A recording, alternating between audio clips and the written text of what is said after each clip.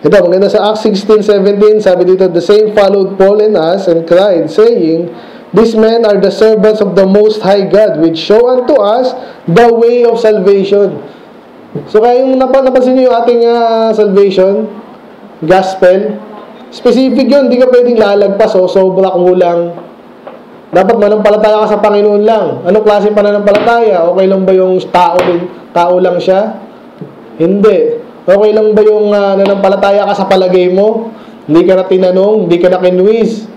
Ganun, ganun ginagawa natin, kinupush natin, baka oo lang oo. May nagtanong sa akin, ba, di ba, yung ano, sa Bible study namin, oh.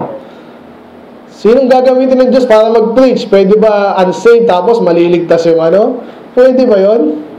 Eh sabi sa Bible, foolishness nga sa mga unsaved. Eh. Natural man siya, hindi niya natatanggap, hindi niya na hindi niya naintindihan yung kalooban ng Diyos. Tapos, magli, hindi pwede, gayahin ngayon.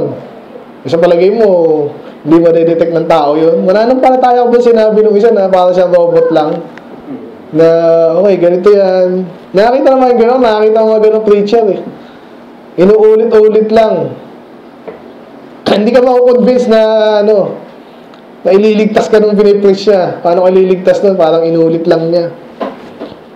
Pag tinanong mo ng logical question, hindi na alam sasagot. Oh, maliligtas ka ba nun? Eh, mga bata, tanggap lang tanggap yan eh.